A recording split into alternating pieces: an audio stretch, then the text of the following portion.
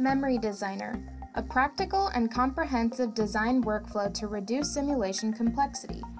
In this video, we will go through a step-by-step tutorial on how to set up a typical DDR simulation using Memory Designer. First, let's set some context for the design we are going to examine. Here is an embedded PC system board by SECO that demonstrates a typical DDR example of a motherboard. This board is made up of a CPU, printed circuit board, two DIMM connectors, and memory. In this case, the memory consists of DRAM chips on a DIMM card, plugged into the DIMM connector. Here is a simpler representation of the board. As you can see here in this image, the CPU and DIMM modules are the common components that memory designers typically simulate.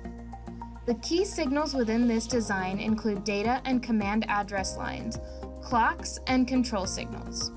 Some are single-ended, some are differential.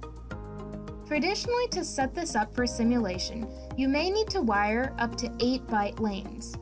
8 data signals per byte, giving 64 wired connections between each and every component on the schematic. Typically, you would wire these manually, one by one. In this picture, you can see two byte lanes being connected. Applying the IBIS model for each pin is repetitive. Setting up the measurements on the signals of interest can also be complicated. This entire process is very cumbersome. Because of this tedious manual process, you may be inclined to avoid checking every signal of interest, further leading to design uncertainty. Missing problems in the design phase can lead to board failures, posing risks to design schedules. What if there was a way to set up your memory simulation easier and faster?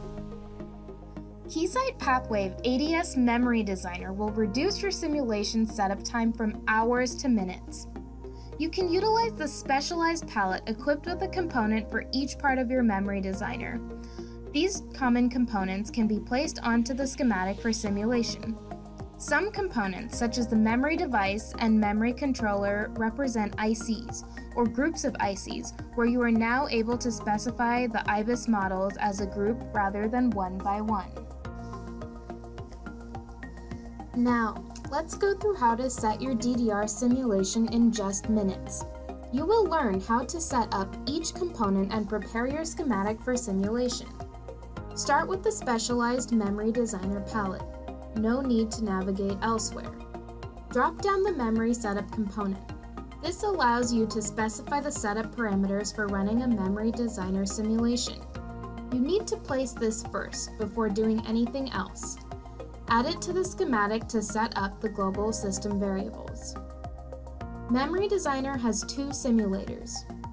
Transient convolution is a SPICE simulator which uses individual time points. The transient analysis is performed entirely in the time domain. The bus simulator is in statistical mode, on the other hand. This gives us an eye diagram and predicts how close the eye will be after a really large number of bits. You will need to add the following components for this simulation. The memory controller, two printed circuit boards, a connector, and a memory device.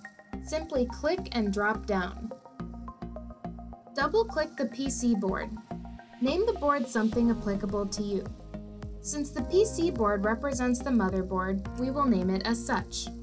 You can define the board from either an SI Pro generated cell, an S parameter data file, which we will use today, or another ADS file from this workspace. If you have two signal IDs that are the same, you may need to autofill them so that they are unique. Click Next, then Finish.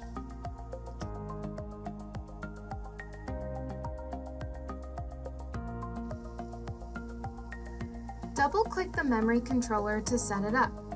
Import the signal ID from the motherboard, in this case. This specifies the reference designators needed from the motherboard. A reference designator is the instance name of a part on a board. One example is a CPU component on a board. The first time it's placed, it might be called U1. Therefore, its reference designator is U1. The motherboard contains the information for the reference designators, and that's what we want to use to set up the memory controller. In this case, the PCB data has two reference designators. U56 is the one we wish to simulate. Right-click to enable it. Browse and select the IBIS file for the chip. Assign signal IDs by selecting IBIS signal name in the dropdown. We are doing this because the pin numbers in the IBIS file don't match the pin numbers on the original layout. For this board, we want to simulate the DQs and the corresponding data strobe. We will enable DQ 40 through 43 and the data strobe. You can search for the lines you wish to simulate by scrolling through, or quickly filter for the lines you need using the search bar. Use the drop-down under Simulate to select Yes.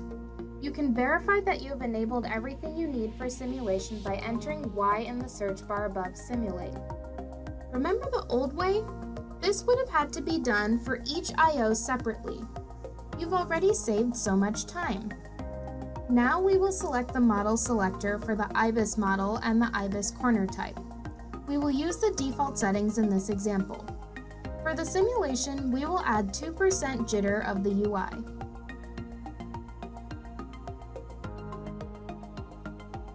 The memory controller is now set up. Remember how painful it was to individually wire each connection? Use a single bus wire to make the connection between the components on your schematic and effortlessly connect everything up with the Auto Connect.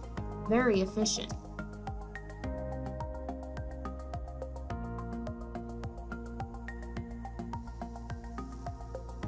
Let's set up the DIMM in a similar fashion to the first PC board and connect using the bus wire.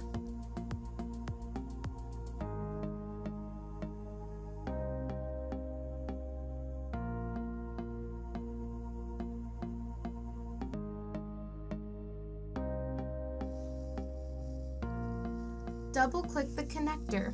Rename it something applicable. This is a DIMM connector, so we can name the component as such.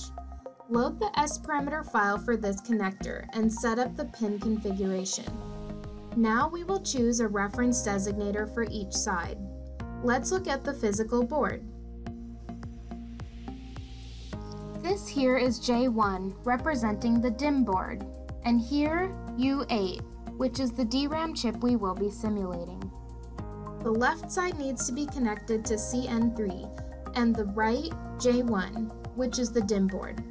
You can then view the connections on each side, then connect to the motherboard PC board component.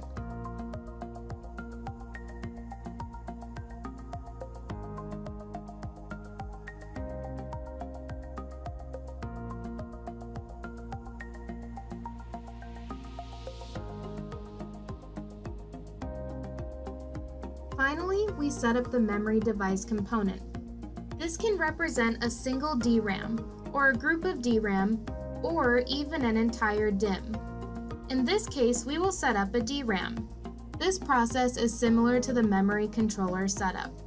We will enable U8 and set the DQ multiplier. The DQ multiplier is used to dictate how many multiples of 16 we are going to start at since we may not necessarily want to look at the first DRAM chip on the DIMM. In the model setup, you can configure the IBIS model as needed and set the model selector. The IBIS file we are using is made by Micron, representing the Z90 family of devices. For this example, we are using the on-die termination at 120 ohms with a max speed of 2666 as a receiver model. This can be set to what you need from the IBIS file.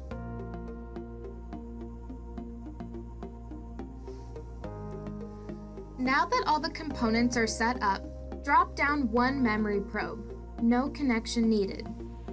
Now we have an intelligent probe that can access the signals in any of the smart DDR components. It understands the grouping of signals and can perform automated compliance.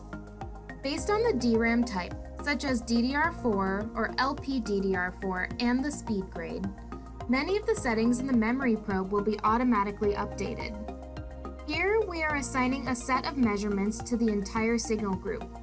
The most important thing we are looking for in a bus simulation includes the eye, mask margin, and the contour. Traditionally, you would have had to place many individual probes for each signal you wish to simulate. The memory probe is now able to perform compliance testing as well. We will cover that in further detail in a future tutorial. Now we are ready to simulate in just a short amount of time. Here are the results of our simulation, an eye for the DQ40 through 43 and the data strobe. Keysight Pathwave ADS Memory Designer, the gateway to simpler simulations in a short amount of time. Reduce clicks, get accurate results, and avoid board failures.